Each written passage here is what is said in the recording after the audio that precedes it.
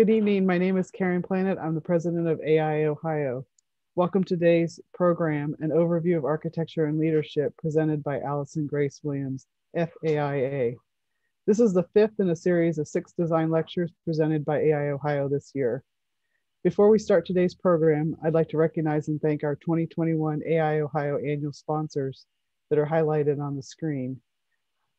Our sponsors are important partners who have helped us bring the innovative and quality programming we are enjoying all this year. I'd also like to thank all of, the, all of those who have made donations to the AIA Ohio Foundation as part of the registration process for the lecture series. For those members wishing to make a larger impact on the future of the profession, please consider joining me and our fellow members listed on the screen now who have invested a minimum of $1,000 in lifetime giving to the AIA Ohio Foundation. If you're interested in learning about the Charles Marr citation, please contact AIA Ohio president or the president of the AIA Ohio Foundation, Bruce Sakanik. Before we get started, um, I'd like to also highlight a few of AIA Ohio's upcoming programs. Our sixth and final design lecture will, in our 2021 series, will feature uh, Sung Ho Kim and Heather Woofter on Thursday, August 26th the AIA Ohio Design Awards will be virtual this year. Save the date and plan on joining us when we announce and celebrate AIA Ohio's Design Award recipients. We'll also be announcing the winners of AI of the AIA Ohio Student Design Competition, which will feature projects from Ohio Schools of Architecture. Uh, let's see, the slide also includes the dates and uh, topics for the upcoming AIA Ohio Practice Innovation Series that will begin in September. Uh, so just a few housekeeping items. Our program today uh, is scheduled for one and a half hours, which will include Q&A at the end of the program. If you have questions during the presentation, we encourage you to put them in the chat box. And um, at the end of the program, we'll be looking to the chat box to identify uh, those who would like to have ask a question of the speaker. Um, there'll be a link placed in also in the chat box towards the end of the presentation um, during the Q&A session. Uh, please follow that link to enter your information and member number so that you'll receive the learning units for today's program. Finally, I'd like to thank Robert Maschke for selecting the speakers and moderating our design series for AIA Ohio this year. So thank you all for joining us today. Now I'd like to turn the program over to Robert to introduce our design speaker for this evening's program. Robert? Thank you, Karen. Architect Allison Grace Williams, FAIA, has amassed an international portfolio of large-scale civic, cultural, and research facilities. While in practice at SOM, Perkins & Will, and AECOM, Williams' inventive instincts and interdisciplinary design leadership generated award-winning buildings that bridge culture, technology, and the environment. Her most successful projects and the work of the organizations and institutions with whom she collaborates are a commentary on the order of priority they place on the relevant issues of our time and are reflective of their sponsors' concerns for sustainable environments and for inclusive, equitable, and socially just outcomes. Williams established AGW MS Studio in 2017. It is built on her history as a respected team leader who enlists the power of ideas and design thinking as creative tools in mission strategic problem solving. Her clients have included corporations, institutions, and other design professionals at critical moments in their creative process. Williams partners with them to imagine impactful concepts, and synergistic design solutions as their narrative toward shaping a positive future. In addition to design consulting and pro bono efforts, Allison is an adjunct lecturer at Stanford University, a frequent keynote speaker, and an academic lecturer. Please welcome Allison Grace Williams, FAIA.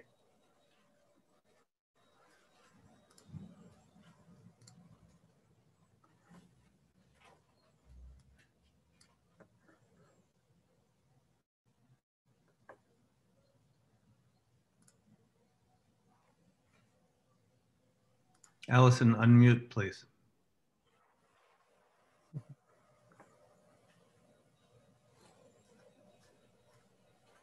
Good evening. And thank you very much, Robert and the Ohio AIA for inviting me and allowing me to have what I want to call really is a conversation as opposed to a lecture. You know, I have this opportunity now and then, and I and I use these moments as a time to really think about where I am, why I'm doing what I'm doing, and um, you know where I'm headed.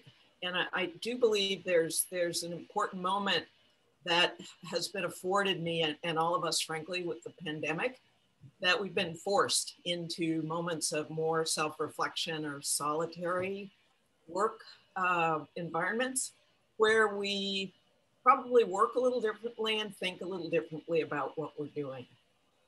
So um, my resume, which, which Robert uh, shared with you, is really a foundation, a statement of a foundation of how I practiced for 40 years.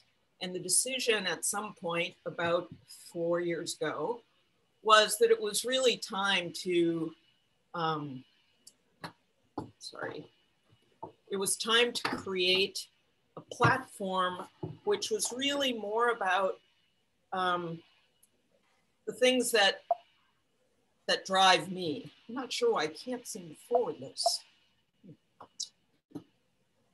Oh, I see, I see, I see. It's over here in the corner. Sorry about that. Okay, so I formed an umbrella of sorts, that umbrella being um, several things, a way to collect the things that I've always enjoyed doing, um, much of them the foundation of those 40 years of practice, um, a way to protect myself from the things that um, are what other people think you should be doing, and, um, and to learn how to engage in things that are truly important architecturally that are relevant and are refreshing and are forward thinking at the same time that they incorporate um, the things that you believe in. So it was a protection, but it was also, uh, you know, a way just to make sure that as you as you practice, that and as you move into a more mature state in your career, that you are doing the right thing, meaning.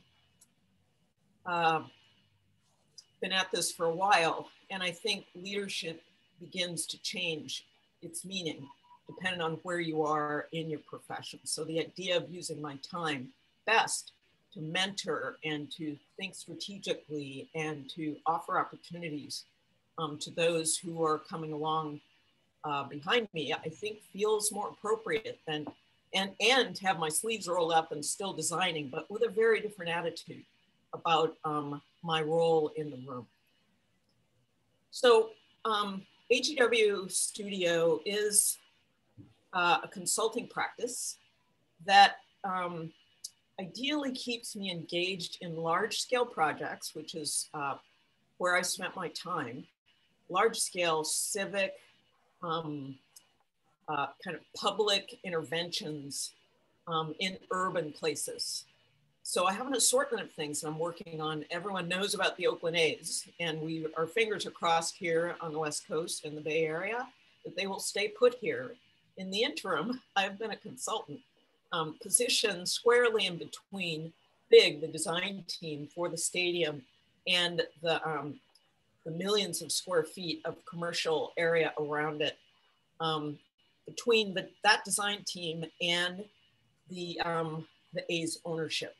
And that was to bring kind of an urban design along with the master planners, which I'm not, a consultant, um, to bring an urban design nose to the idea of, of the design guidelines that will enable um, viable development of commercial, um, residential, uh, affordable housing surrounding the network of, of circulation around the ballpark.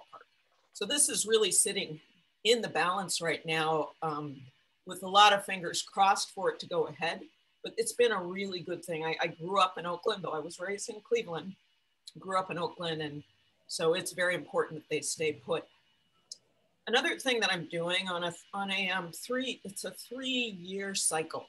HDR has HDR the architectural firm has um, uh, internally initiated program of design excellence, and it's on a 12 year cycle with four um, chairs, each taking a three year cycle.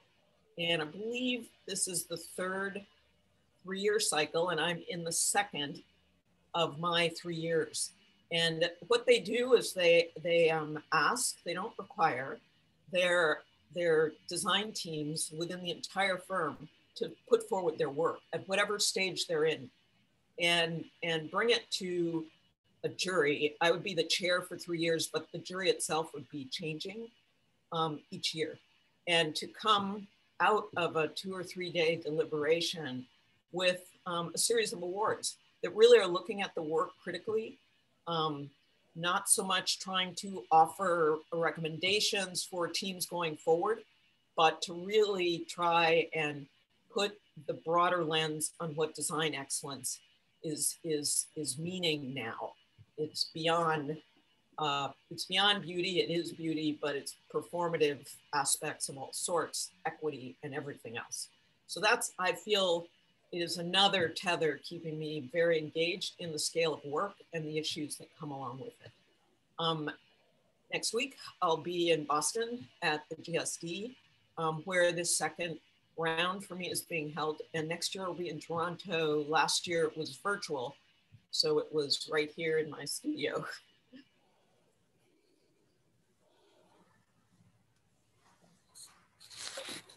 Um, another thing about having your own umbrella is you can kind of choose the things that you really want to do, the affiliations that you feel are important, and they are not in any way um, in conflict with a broader firm agenda or conflict of interest.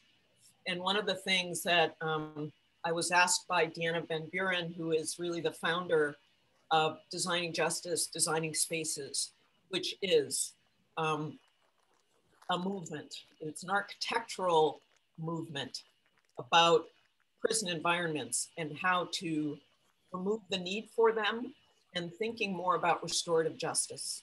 So as I joined her, um, as I joined her board, um, I think two years ago, it was to bring in um, an advocacy for design excellence, not only an advocacy for the the mission of the organization, of the firm, but also to tether it strongly to the architectural outcomes and the processes through which um, the three-dimensional aspect of the mission um, emerges.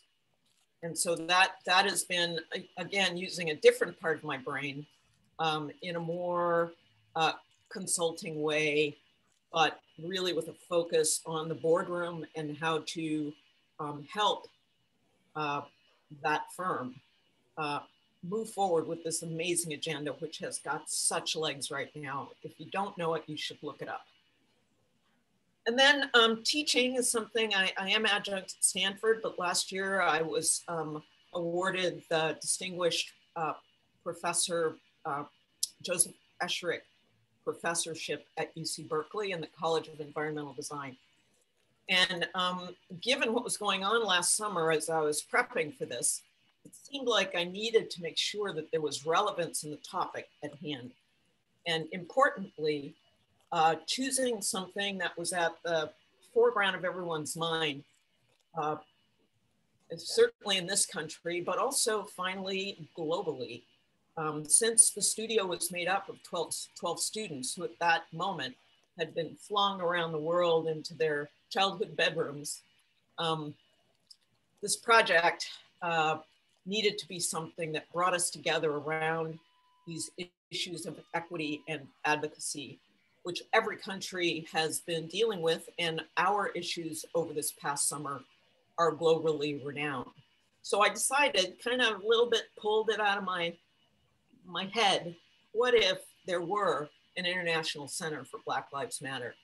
And it was all of it had all of these characteristics that were about um, placemaking and equity and uh, catalytic opportunity and really Um, this is the slide just talking about the whole class was like some of them were drinking coffee, some were drinking wine, some weren't awake yet, somebody had a new baby. It was a pretty incredible uh, experience.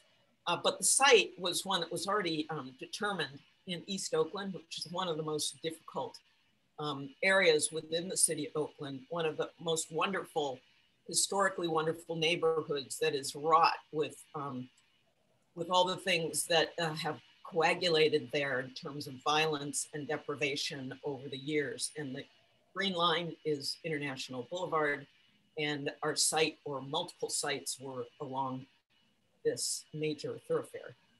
Um, the base of the Oakland Hills, you know, nighttime, difficult nighttime activity, prostitution, drugs.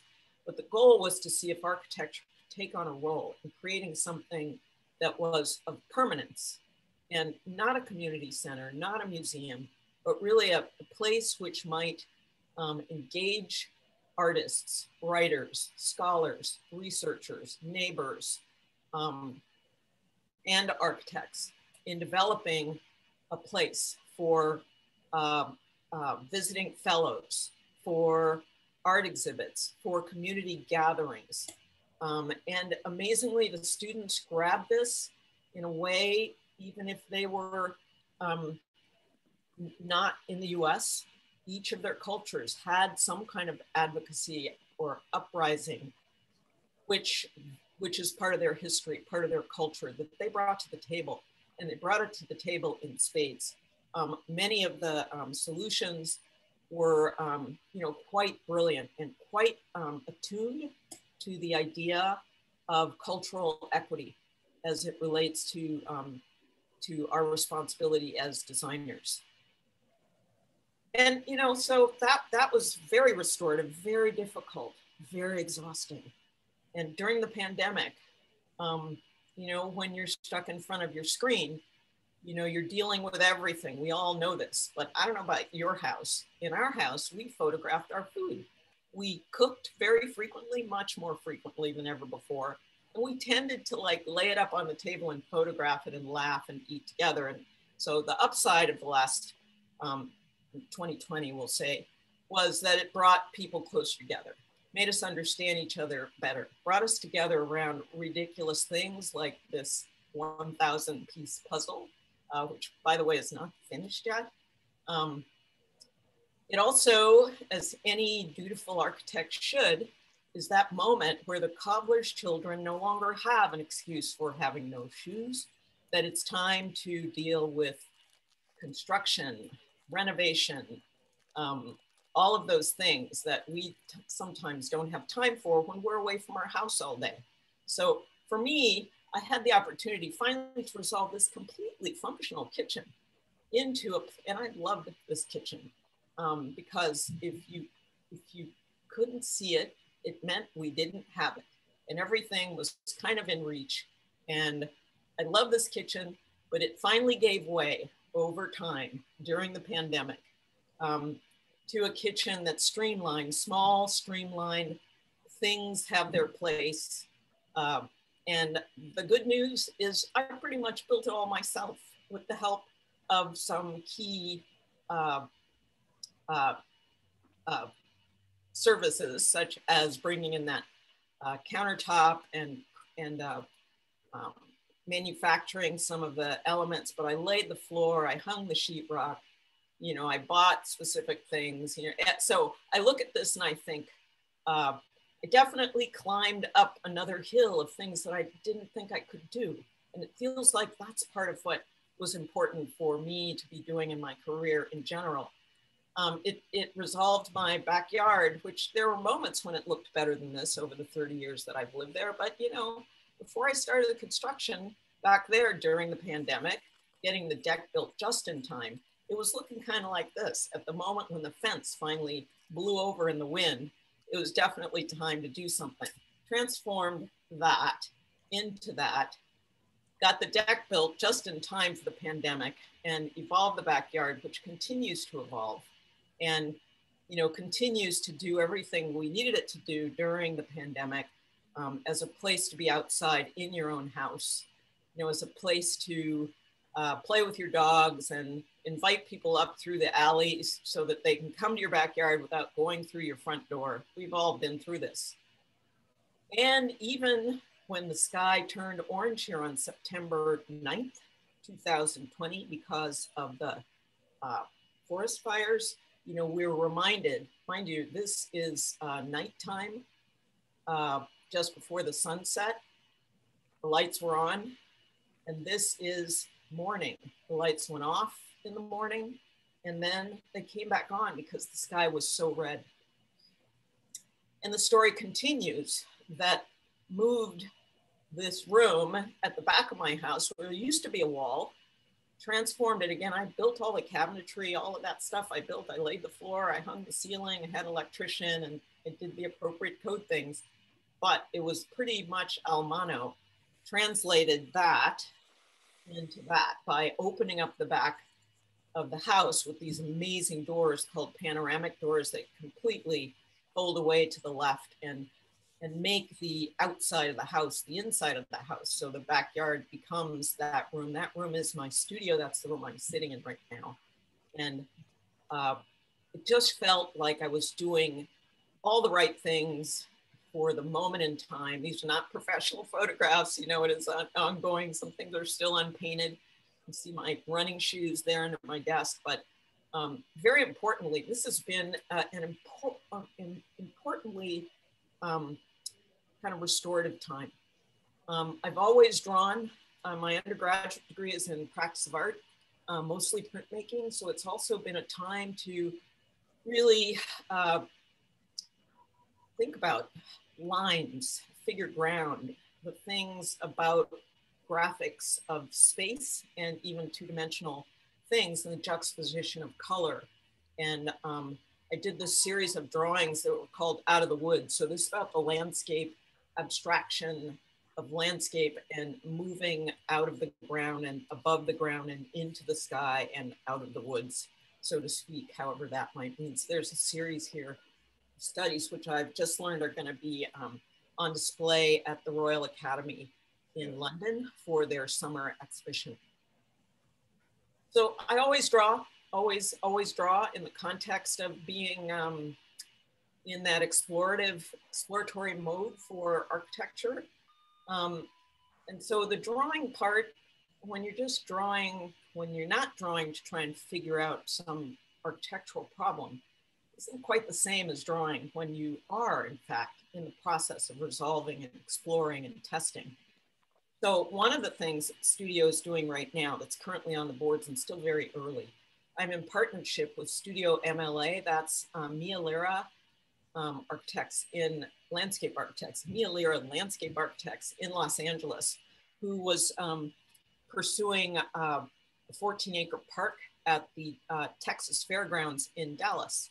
And it had just a sweet pavilion that will probably be a $10 million project. And she called and asked if I would join her.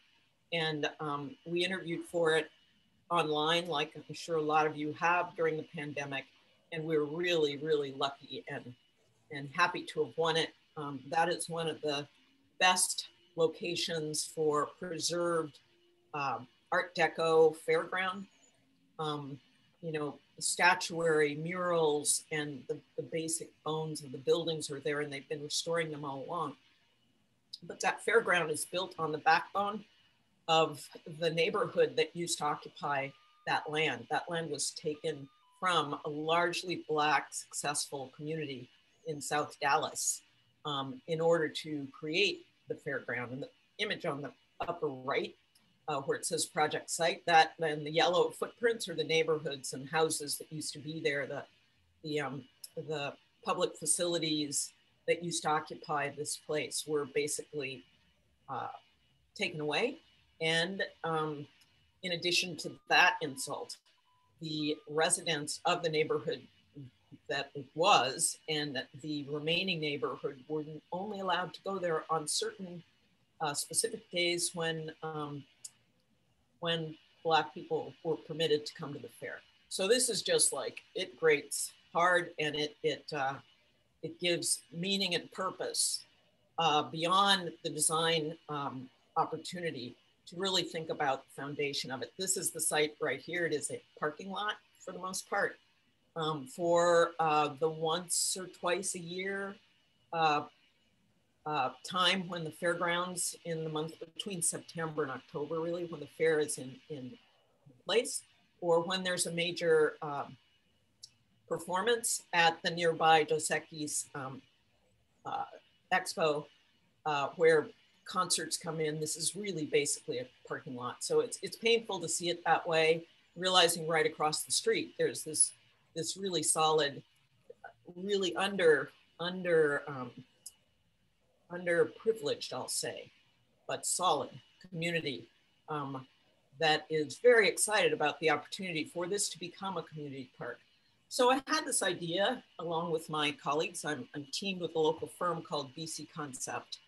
And I'm the design lead, but again, you know, we need each other. We're working together with MLA. So these are some early sketches, but this idea of them, they're of it really not being a building, but being this incredible shade structure that would be oriented on the site in such a way that it, it um, controlled and even induced the southeast winds that um, shaded the, um, the area underneath and that allowed for some really limited enclosed component underneath. So it became really about performance in the environment. And, you know, we're just at the point, I just pulled these off the SketchUp model, but we're still in concept, but the notion is that it's, it's, it's, it's going to be kind of a linear building. Um, the shape of its roof is not yet known, but the idea that it might be green, that it might heave out of the ground, that it might, maybe you can walk on it, but that fundamentally it's creating shade and it's creating um, uh, usable outdoor space for as many hour for as many hours of the day and and months of the year as possible. But what I also realize is that I do have this um, kind of fascination or or kind of commitment to buildings that are environmentally environmentally pretty much uh, driven. And in, in the case of many of the projects I've worked on, you know, this lends itself to elongating, linear, properly oriented buildings. And it, it occurred to me as I was doing this um, project in Texas that it is a it is a recurring theme for me. And in fact, I've probably done five or six 400 foot long buildings in my time. So it's kind of fun also during the pan pandemic, but at a moment where you're looking back at the things that you've done and where you know that some, some series of uh, uh, processes of how one evolves in collaboration with others um, at a big idea. And for me, um, that notion of orientation, minimizing interior conditioned space uh, has more and more become a theme. And it's, it, I'm not alone in that but I think that it is it is kind of the portal to um, where we need to go uh, in terms of climate change and energy use. So NASA afforded an opportunity. Um, the red bar here uh, is a new lab. It's not a huge lab. It's about 50,000 square feet. It's on the um, NASA Ames campus here in Mountain View, California. And you know, it sits along what you'd call the main drag, and you can see that trellised area there is completely outdoor space facing south. And uh, originally, that space would have been interior circulation space. And at a certain moment, as we were uh, trying to figure out how to um, to be really efficient with our dollars, it occurred to us that in that climate, it's very possible to put the circulation between the labs, which are kind of in the sol under the solid roof, put the labs in that space and put the corridor used to move um, from lab to lab, um, which would normally have been a separate corridor, not the corridor inside the labs that might join the labs together, but the corridor that links the labs along a common uh, pathway. We put it outside and we shaded it with, with large London plane trees.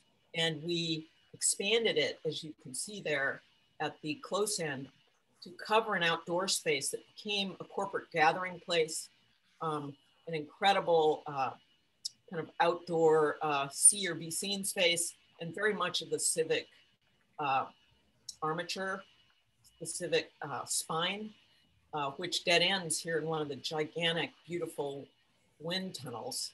And so that laciness, that kind of external structural, exo, um, exostructural expression also inspired us in the way that the light plays around these light surfaces.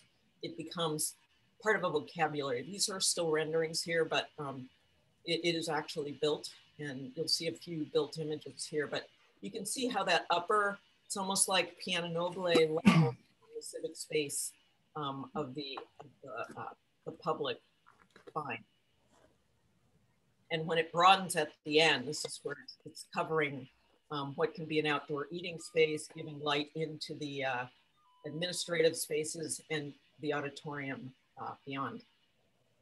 And these are on the day of the opening, um, pretty much uh, emerged intact in terms of the big ideas and you know the landscape will come mature and and really put it in its place on this, this incredible campus. It, it would be the newest lab building there in uh, some time.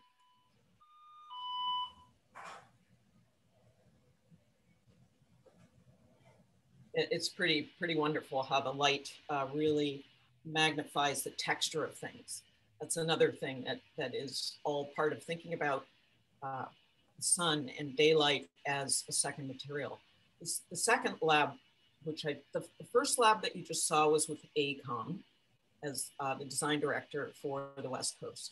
This is another one, although this is at Langley in um, in Virginia, and it's the Design Excellence Commission. And here it is a lab basically to study laser technology.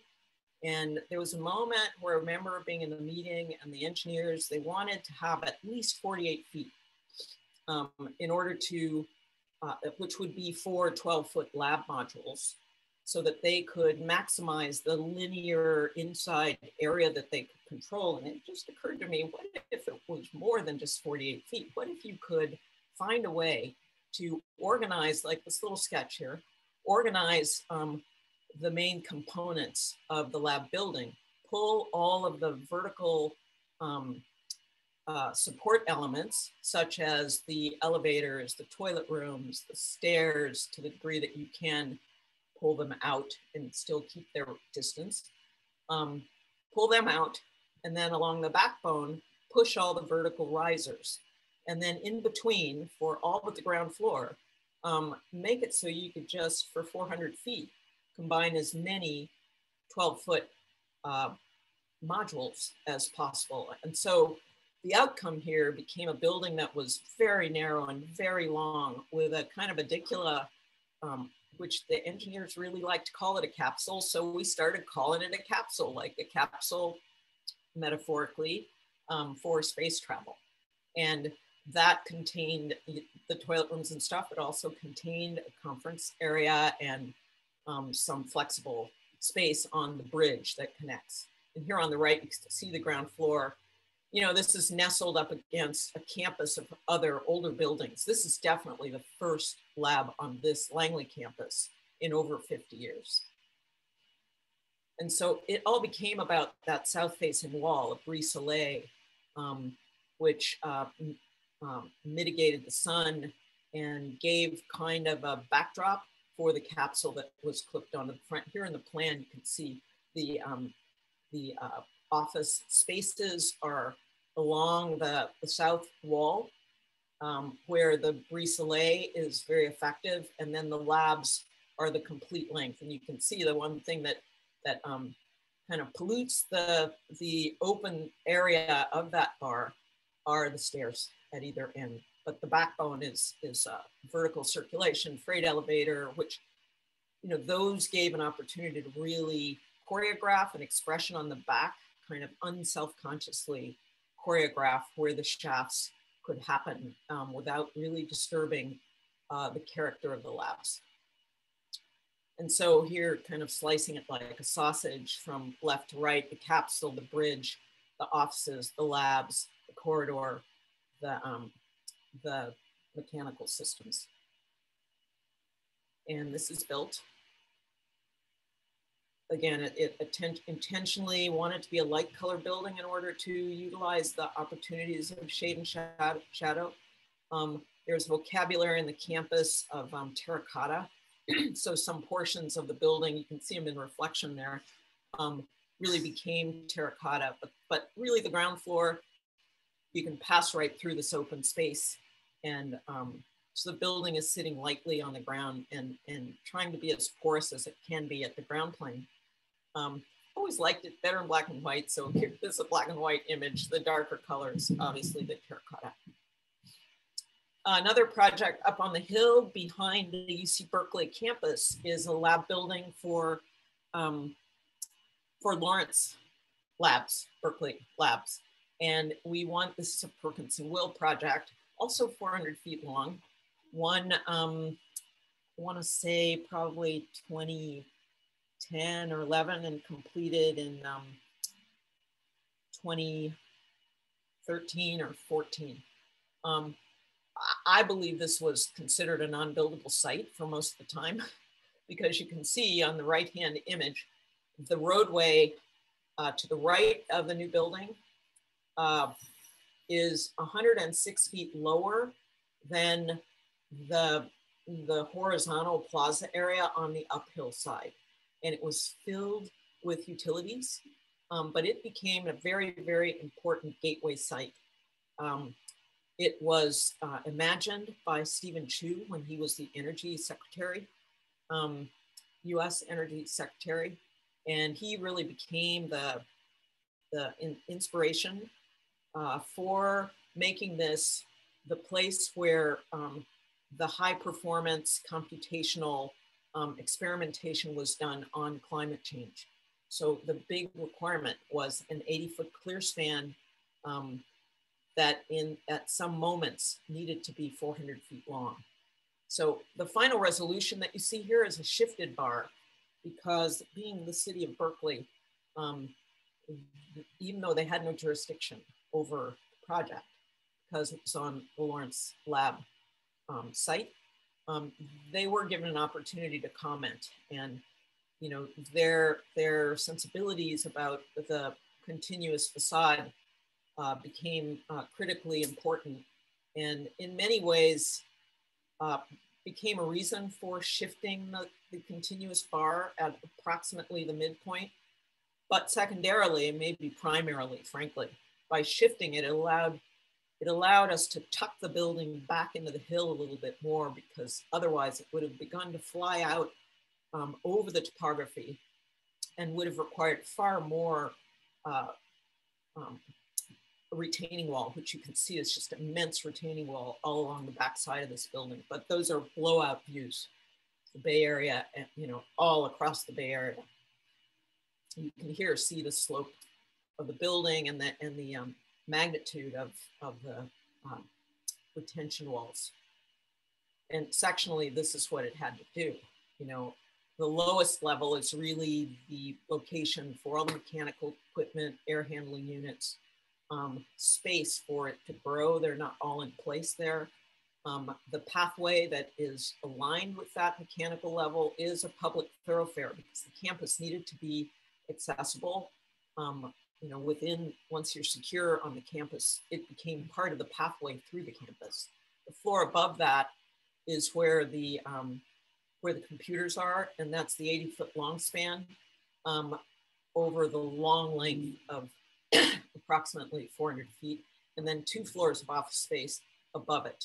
Original schemes actually had it rotated in the hill um, 90 degrees, so it would have been more cantilevering and projecting out into the landscape and um, would have been a better, better orientation, frankly, for the solar, but I think the retaining wall problem won out here.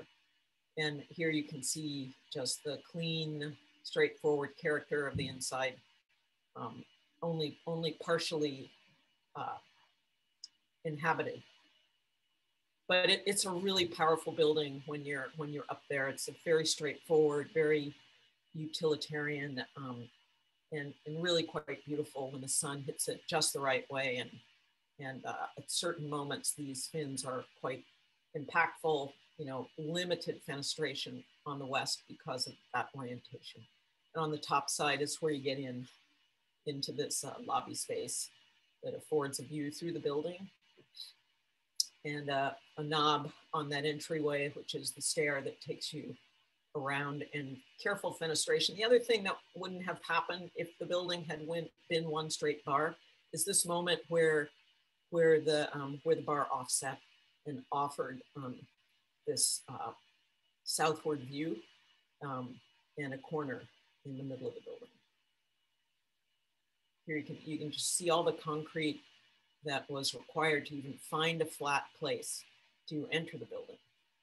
And in terms of how this might have uh, looked or been, you can see here if that original um, trajectory of the bar had continued, it would still be on the property line within the property, but it would have been really jettisoning out um, quite dramatically. The cooling towers are off up to the side. You can see the, the big piping um, going from their handling back to the cooling towers that are tucked in the hill. And by the way, this is less than um, 500 feet from a fault line.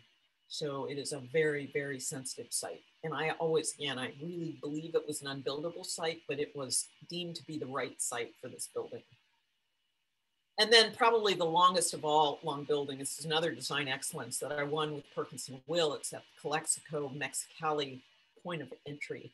And the site you can see here, just the texture, Mexicali is on the south, you know, over, um, you know, a million people jammed into a very tight geographic space. And on the other side, the US side, um, about 42,000 um, on a good day when um, when everybody's there. Um, uh, uh, close to 15,000 people cross this border and just to do business or to get their children to school um, or to use medical um, uh, facilities.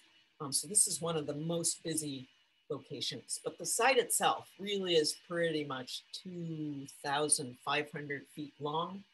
Um, and has a change in elevation of about 30 feet. And it is uh, is going to be phased. It's, it is being phased to finally replace an existing um, uh, port of entry building, which is quite um, uh, outdated. Uh, but it was really mostly about how to, I, was, I, I chose Tom Leader to go after this with me. And we, from the very beginning, believed in trying to make a building that would be of the landscape where you couldn't quite tell where the building began and where the landscape ended. And so this notion, if south is to the right and north, I'm, I'm sorry, south is to the left and north is to the right, we really cut into the land to create this really cool spot. And by that, it's a cool spot, but it's also temperature wise, it's a cool spot because it would be in shade for most of the time, shaded by the building as a place of respite for the workers. And the building itself then hovering, the main portion of the building hovering over with the outlook point for, um, for the, uh, the uh, Border Patrol to be able to oversee the border, the cars coming through, the people waiting. Um, as they go through the pavilion after waiting in line under the hot sun, through the pavilion, through this waiting area at the border into the pavilion, which was really meant again to hover above a very glassy space and to give way to the civic um, grid of Calexico itself.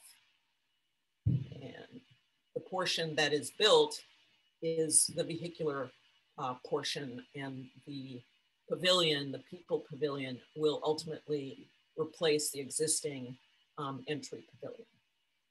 It's funded, but not clear exactly when that next phase is going to kick in. And then finally, you know, the August Wilson Center is one of those projects that um, until I actually won it by international competition back in 2000 something, one maybe or two, um, I didn't really understand completely what it meant to be operating on all cylinders. Um, this was a project for originally the um, African American Cultural Center for Western Pennsylvania. And it had a huge faithful, um, initiating leadership of um, Pittsburghers, um, Black Pittsburgh, Pittsburghers, who decided against many people's wishes to choose a site in downtown Pittsburgh as opposed to the Hill District um, because the importance of, of making this place was far beyond just making a place which would gather um, people of that culture, but to share that culture. And they chose this site. It's about a block and a half from Viñoly's um, Convention Center. And it is on one of the busiest streets um, in downtown Pittsburgh. And we were so honored to win the competition. Um, and during, we won the competition and during the design pro process, August Wilson died.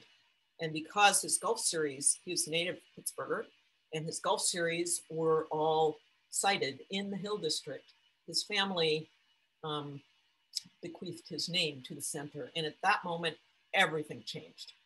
You know, this center, um, the land was given by the redevelopment agency for pennies. We entitled it for not only the center itself, which is about 65,000 square feet, um, but we also entitled 100 feet of building on top of it.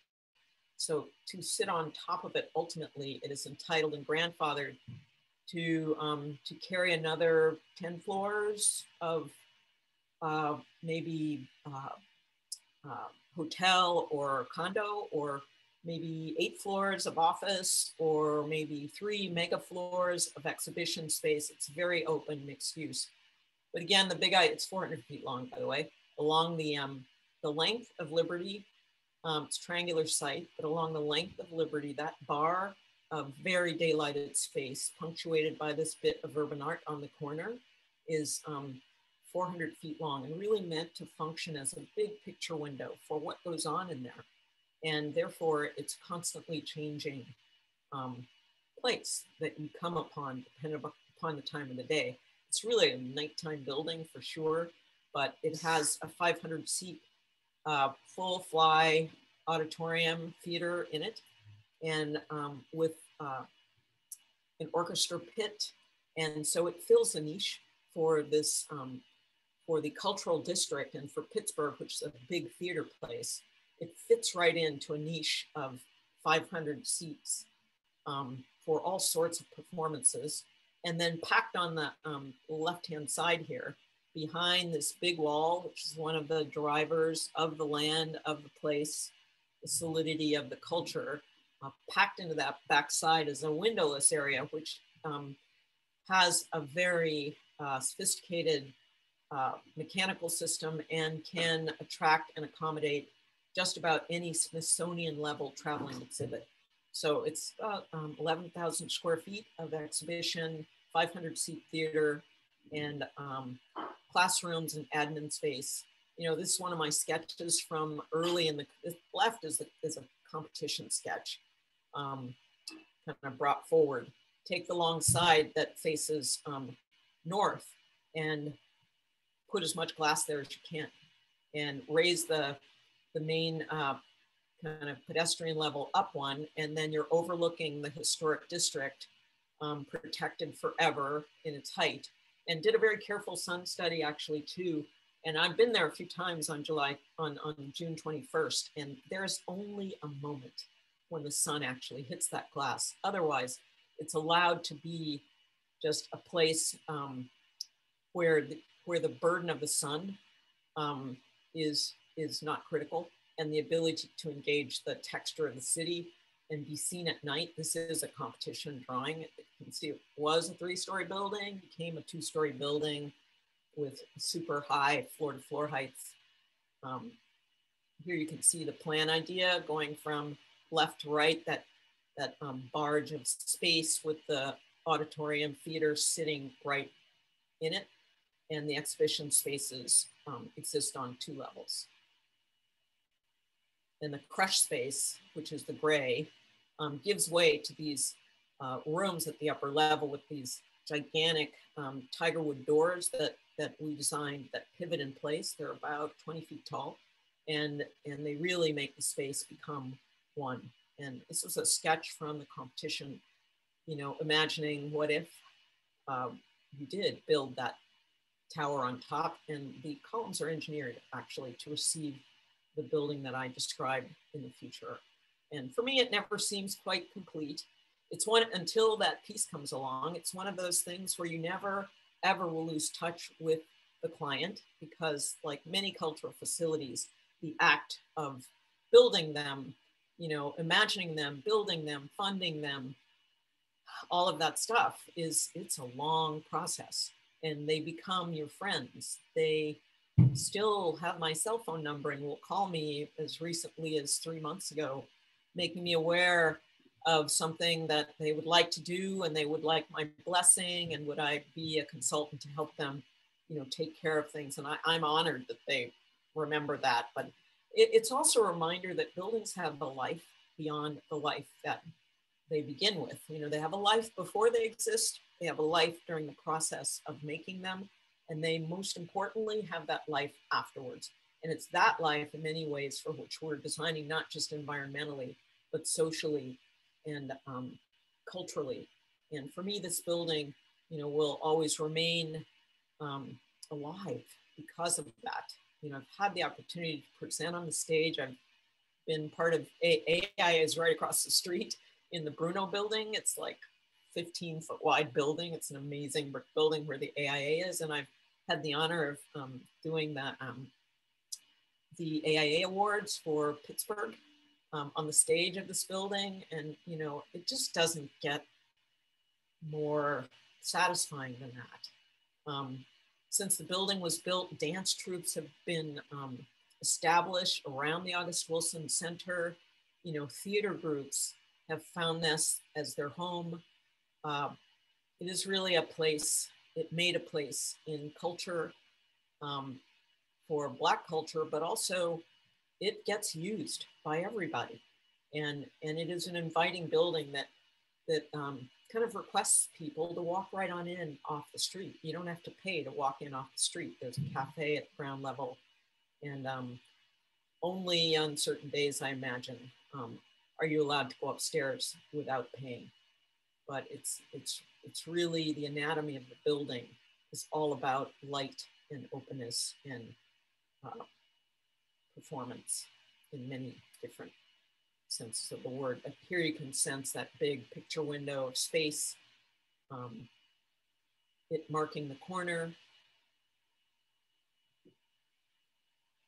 And every time I, and, and this is a postcard that someone made and sent to me, um, taken with a very, very wide angle, but um, on some red carpet night when, you know, the gathering of, of actors from, you know, Black actors um, come here. And on the 10th anniversary in 2019, they invited me to come back and I did. And there were many actors there, big name actors who came across the red carpet. And it just, I just feel like it's part of me forever. So I, I, I, I troll the internet now and then and I find these completely unstaged images like this one, um, where, uh, you know, you just always feel like you're part of what's going on in there. And you know, sometimes they use the exterior wall as part of a, um, a display. In this case, this was, um, this was, I want to say maybe seven or eight years ago, where the these films on the wall were um, were um, electronic um, touch points that you could come up to and touch, and it would speak back to you. And so it became this attraction. And then on that same night, at the 10th um, year anniversary, um, it was amazing to see them using the space. This is where they set up the bar and they, they're using it in a theatrical way um, in which it was always intended. And they're taking very good care of the building. And, and I have to tell you that that is part of what we as architects get the satisfaction of doing is um, uh, imagining and um, engaging people. Um, we go into their world, they come into ours, um, and we create something together and then we watch it grow. And I just, you know, the topic of this is architecture and leadership. And I, I think that it's important that I say, you know, the nature of leadership has changed for me, but the importance of leadership is ongoing. And um, it's more than just leadership of others, but it's taking uh, control of what you do with this uh, this way of engaging the world. Our responsibility is so much broader than it ever was before, and it's grown to include things that aren't three dimensional. You know, they're economic, they're cultural, and I hope we have some good conversation about this because, and this wasn't meant to be a lecture, just a moment in time of sharing where I am um, in my ongoing career uh, as a designer. So I thank you very much.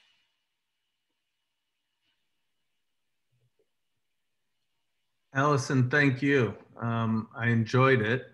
Um, before I, I bring in some of the folks in the chat, I have a question for you. How long did it take you to get comfortable and get your head around designing these very long building typologies? to tell you the truth, I didn't know I was doing it. I didn't, I really didn't realize that it was kind of, it had become a go to starting point whenever um, the issue of how to site a building.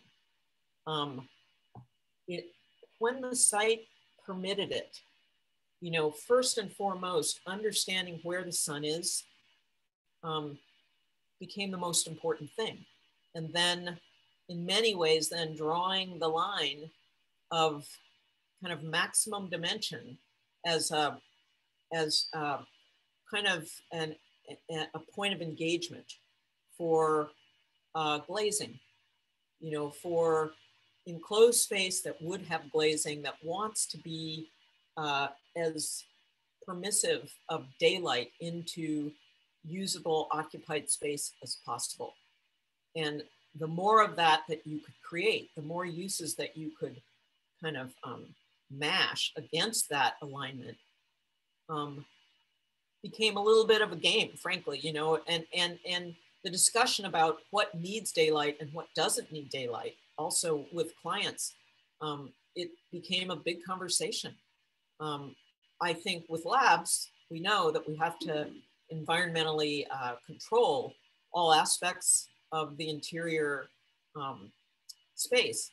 But more and more, and anyone who's doing labs now knows how there's been a shift over getting the office space that used to be quite often embedded in the lab module, you know, finding a way to pull that outside of the lab module so that um, the scientists are not uh, burdened with needing to stay in the absolute super controlled environment and be able to move out you know, with certain restrictions on what can come in and out of the labs, but with the ability to actually engage daylight when they're not in the act of using the research uh, facility. So this elongation, this kind of axial notion, um, I think over time, and I, I don't think I really even realized it uh, until, well, I, I guess I realized it, but even on this Texas, new Texas project, it became very clear, you know, this was gonna be a long, beautiful shade structure.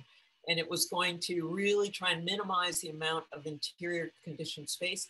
And the client has really bought into it. It has a huge stage associated with it. So part of the, the big roof idea is about how to engage the, the um, coverage for the stage within the expression of a shade structure in this park.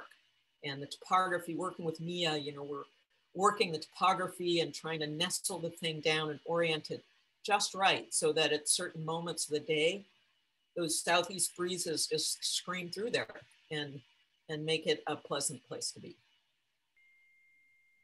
Well, thanks. That I, I I think you're you're very fortunate that you're able to let these let these projects grow and you have the room to let them grow, which uh, probably allows them to get longer. Um, I'm going to um, ask Kate. Uh, Steve Kordowski in Cleveland has a question, and then we'll go to uh, Mike Mock in uh, Dayton, or I'm sorry, Cincinnati. Do you, do, you stop, do you want me to stop sharing my screen, Robert? What, what, whatever, sure, whatever's best. Hi, can you hear me? Yes. Okay.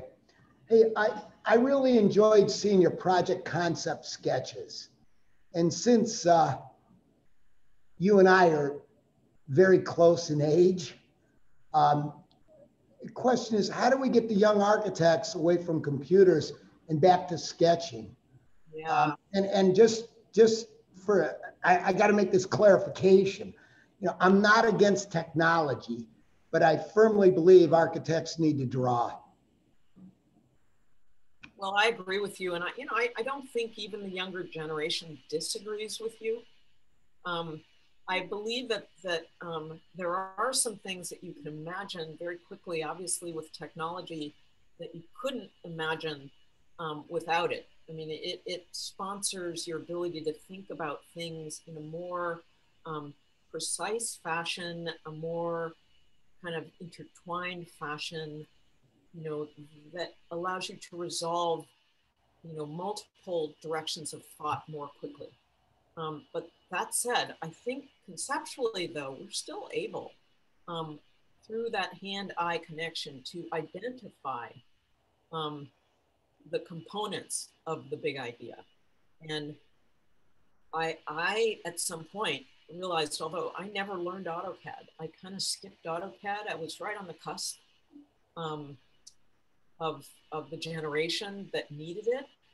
Um, and I decided that I would not use my brain cells to teach myself AutoCAD, but I would become like the SketchUp queen from hell. and I think that that gave me the tool, the communicating tool that I needed with um, with my teams. Not only to be able to throw things back and forth digitally, but also um, for me to uh, do a sketch, hand sketch, and then take it into SketchUp myself and give it some parameters, really loose. Like don't try and measure things, but conceptually make it a three-dimensional thing that you can spin around that it is not a two-dimensional exercise for your team to take that two-dimensional drawing. There's so much interpretation that happens between plan and section that somehow being able to um, submit two-dimensional information in SketchUp as, as an idea generator and then share the SketchUp model with the team. And oddly enough, um, if you require them to reciprocate in the opposite direction, you require them to sketch, require them to lay over, you know, require them to draw it in two dimensions or to draw an axonometric. You know, it's a little bit of the mentorship I think that we are responsible for to, to bring them back. And just like with our own um, peer group, you know, some people are more comfortable with drawing. Um, I'd much rather draw than talk and it looks rude sometimes, but you know, sometimes that's where you're going to figure out what you're doing is by drawing. And so to, to bring that um, back around for the next generation, I think it's important. So I'm not disagreeing with you. I agree. Thanks. Mike, you had a couple questions. Yeah, I did have a couple. Um, so I, I noticed one, uh, like one of those buildings uh, was a you know fe- uh, government building, the NASA building maybe. Um, were those were those buildings or your projects? Are they uh, LEED rated buildings? They were all LEED um, desired. Um, I believe the one at Ames has turned out gold. Um, the one at Langley is they were never completely told on seeking the LEED um, actual definition, but they did use the, the guidelines. And so I doubt that the one at Langley uh, uh, reached a certification. Uh, the one up on the hill at Lawrence Livermore, I'm, I'm sorry, Lawrence Berkeley, um, I believe is silver, silver, maybe gold. But you know, AECOM I should say, um, in my time there, including the new Kings Arena up in Sacramento, you know, it is the first gold um, certified um, basketball arena uh, in the country. And I led the competition with uh, many of the others at AECOM in the other disciplines, landscape, hugely engineers, you know, our environmental um, team uh, while I was at AECOM, we won that competition. The design as it came out is, is nothing really like what the competition imagined it to be, but in principle, it is principled in the idea of conducting the breezes off of the delta. And, you know, so I believe that, you know, we're still educating our clients somehow, but with this big leap toward 2030, you know, it's really no longer uh, a discussion led by LEED, but more just climate change, resilience, and um, and if you do those things right, including using existing um, stock of buildings and building as little as possible, our ability to reach what would be LEED certification um, is is a very low threshold. So I liked your um, I liked your photos of your black and white photos, and you you made a point of saying that you liked them better that way. Did did you model them in black and white when you were designing them, or did, was that sort of a happy accident that they ended up photographing well in black and white, uh, and, and or is that was that sort of an intention that you had? Well, I, I think I enjoy modeling those SketchUp models that were part of that um, particular NASA uh, project in uh, Langley. Um, I built that SketchUp model. Mind you, we were I was in Francisco. The design team was in Washington D.C. So I was designing on the West Coast and working with a kind of skeletal, skeletal, skeletal team in um, in D.C. And so the model you know, for me was really about understanding where the sun is. It was less about the materiality of the building proper. There is a campus vocabulary of materials. And um, I knew that portions of it were going to be uh, going to need to be tethered to that uh, master plan uh, material palette. Um, I personally wish the building wasn't quite so dark and that it would have been a lighter building in terms of the tile, color of the tile, but that tile turned out to be very, very, it is part of, very much part of the vocabulary of the historic campus. So being able to preserve the body um, as the, the um, commitment to the, that material palette and take the brise and treat it like a layer, take the capsule and treat it like an aedicula and you know make it do what it needs to do and make it lighter and less absorptive was the light absorptive. And that was the idea to really bring it out something really white. But the SketchUp model was all white no question. My last question maybe is more interesting uh, at least to me is is uh, when when was the first time you realized that you as an african american architect ha had a a voice to be listened to um, by young uh, African American architects or students? Well, I'm going to turn that question back on you because I think I've always felt that I was a voice to be listened to by any upcoming young architect who, you know, having cut my teeth at Skidmore for 17 or 18 years, it never occurred to me that um, that, that wasn't a way to to uh, kind of spend my brain you know, never occurred to me that that doing that was something that uh, that was going to be identified as unusual or spectacular because of my race or my gender. You know, I to the day that I left remained one, if not the only, um, senior associate partner in design at Skidmore, um, and uh, I always would look, still do look for young talent. And it, it, comes in many shapes and forms and colors and genders. And you know i i want very much for our profession to diversify um, through the process of people who are really passionate about design finding a place to engage it at the level that they can be most productive. So i i know and i'm glad that there may be some younger people who see me and they will suddenly realize that, you know, I could do that. I could be that. You know, to me, that's what real diversity, where it all begins. But for me, I did not think about it when I was doing. You have to know that I did not think about it when I was doing that. I was doing what I really, I think, was supposed to be doing. And only in those few moments where you realize, you know, I'm the only person of color in this room, or I'm the only black, I'm the only woman in this room. You know, you just cannot think about that, or you just, you're really limiting your own ability to do your best. Thank you. Allison, I think we have time for one more question, and uh, Jack Bialosky has one. Okay.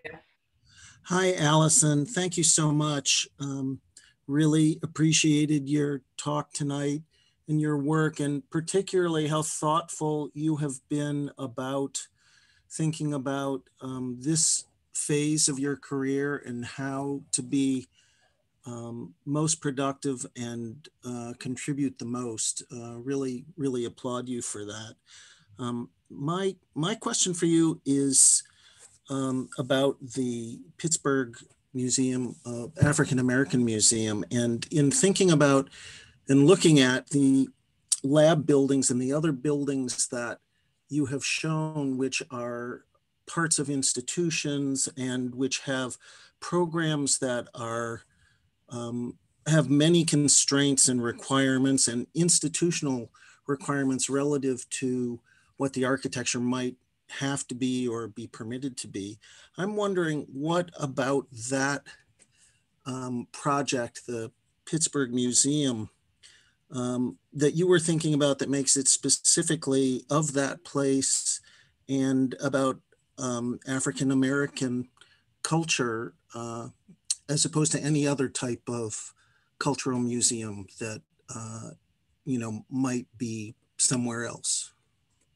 Yeah, I mean that that is the um, the question of the of the moment, and um, I was quite frankly shocked to win the competition because my competitors, who are all friends, um, perhaps had a more um, definitive language um, about the building and its reference to African American heritage my attitude was that Pittsburgh is a city of concrete and steel and brick and you know and those industries were in glass those industries were built on the backbone of lots of immigrants.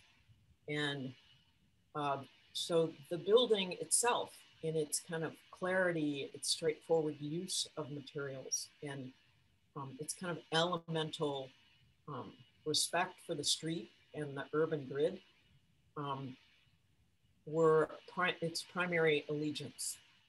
Um, but it also had a responsibility to be uh, not fixed in time. That every time you walk by this building, it'll be different depending on what's going on inside. And so it's really more about the contents than it is about the enclosure when it all comes down to it. It's the content of the character. And I think that uh, Martin Luther King had a quote that was better stated than I just stated it, but it's really about what's going on inside there. You know, come in, be part of it, you know, share what's going on in your culture by bringing it into this building. And when I say it's a nighttime building, it, it, it, it comes alive at night. You know, it has basic ideas about um, a strong wall of brick that is um, carried in from African, East African villages. The idea of walls that surround um, towns that are very textured stone. That's an idea about place. Um, the notion about the corner being a form that, you know, I didn't call it a sail exactly, but it is definitely inspired by the dhow sails that carried culture from the African continent, nailing it on the corner and giving the building almost this, it has motion somehow. It's a statement that the culture has motion, that the building is always changing and yet it anchors a place in Pittsburgh. And so for me, the the abstractions are there. They're not hitting you in the face or over the head, but they're there. And I think once you um, once you uh, find what they mean to you, then you can. I believe in this ability for people to grab onto what they see and use it how they want to use it. I really believe in that in cultural buildings, especially. And and this really isn't a museum. It's really so much more than that. You know, right after it was finished, the um, G20 was held here, and the the technology and the um, communication backbone of the place is so strong and at the moment absolutely state of the art that they held all of their um, simulcasts, simulcasts globally from the main um, multi-use space. And so this is this is a building that invites and educates. Allison, I loved your answer. And uh, I agree with you entirely that those abstract ideas are really like a scaffold that has to be taken down, uh, you know, when the building is completed and that people will interpret it however they will. And there's truth in whatever they perceive. And so I really did love your answer, and particularly about how welcoming that building is to pull people into it to experience the culture that's actually taking place there. Thank you.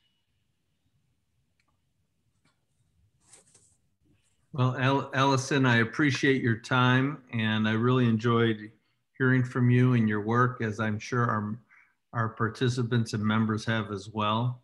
Uh, again, um, in the chat box, um, there is a form for learning units. And we hope to see you in a month's time for Axiome, which is a firm out of St. Louis, for our final lecture of the season. Um, I, I hope you have a great end of the week and look forward to talking to you soon, Allison. Thank you so much, Robert, and to all of you at the AIA Ohio. Thanks. Go Bucks. Thank you, Allison. yeah, go Bucks. Bye. Good night, everybody. Good night.